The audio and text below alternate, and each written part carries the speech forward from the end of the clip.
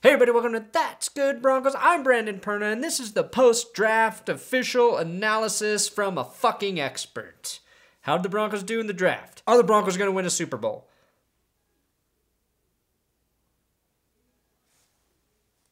Is double bagging it ever a good idea? All questions I will get to today. That's Good Broncos starts now.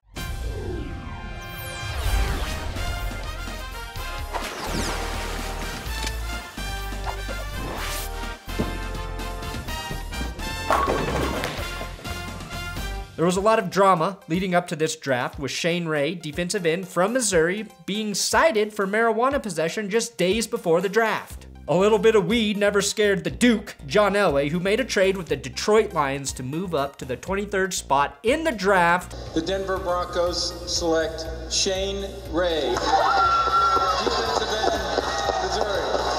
to get Shane Ray and bring him to a state where driving with weed in your car is considered super chill. super chill. In fact, we've already started marketing a new brand of marijuana in honor of Shane Ray. It's called Orange Kush. What does John Elway think about the new brand of weed Denver will be selling to consumers? We thought the price was right. The first round of the draft is the biggest joke of them all, but the NFL has done a magnificent job at selling the draft to us as a must watch football spectacle. Because if you don't watch the draft, you're not a real fan. And if you don't boo the commissioner, you're a pussy.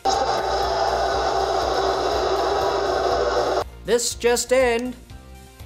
Roger Goodell's favorite player from the draft is Cedric Ogbuehi, because Goodell loves to get Obuhi'd before every fucking pick.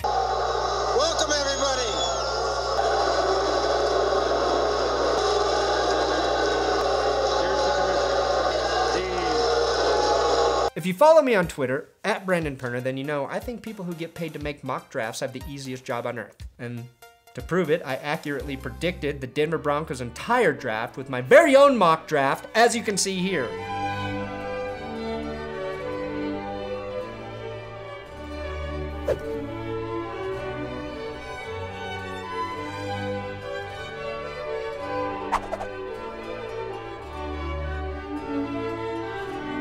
Most annoying part of the draft had to be the four hour lead up to it. If any of you were on Twitter before the draft began, then you probably saw this stupid tweet about Dante Fowler Jr. spiked golden shoes. Then you saw ESPN tweet about it, and Bleacher Report, and Xfinity Sports, and Fox Sports, and the NFL, and the NFL Network. That's redundant. Andrew Siciliano, Michael Fabiano, on and on and on. They kept tweeting about the motherfucking shoes. The only way I want to hear about what a 20 year old man is wearing on his feet is if he's wearing one of these.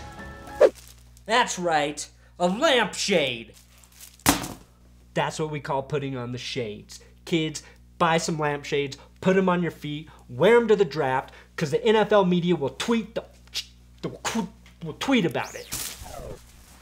I think the NFL should allow teams that made terrible draft picks the year before to be able to return that pick with their current second round selection. A team like the Cleveland Browns could then return Johnny Manziel because he's broken. The broken players who are returned would be given a choice. They can either work at Walmart or submit themselves to the new NFL All HGH team where they are allowed to take any banned substances they want and play in football games against each other so the greatest scientists on earth could really study the long-term effects of steroids, HGH, GMOs, cocaine, marijuana, and Nutrisystem.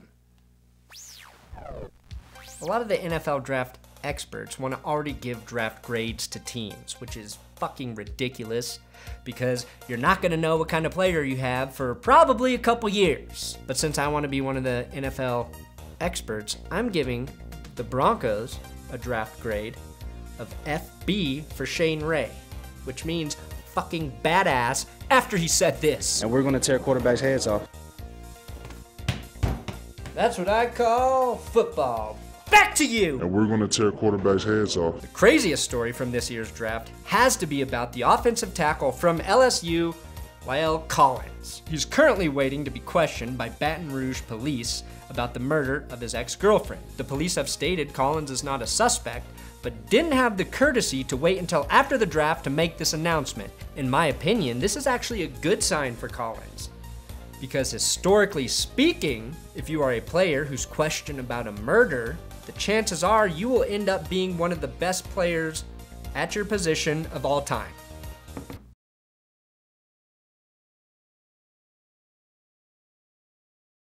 My favorite moments from the draft were when Roger Goodell butchered Marcus Mariota's name. Marcus Mariota. How does he not know how to pronounce the second most popular player's name in the draft? Marcus Mariota. Oh, yeah, maybe because he doesn't know jack shit about football.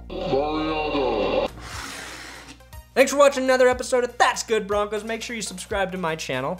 Go like That's Good Broncos Facebook page and follow me on Twitter at Brandon Perna and pray, pray to God that Shane Ray, Von Miller, and DeMarcus Ware become the most vicious pass rushing trio to ever set foot on a football field. That's what Elway calls a surefire fuck you.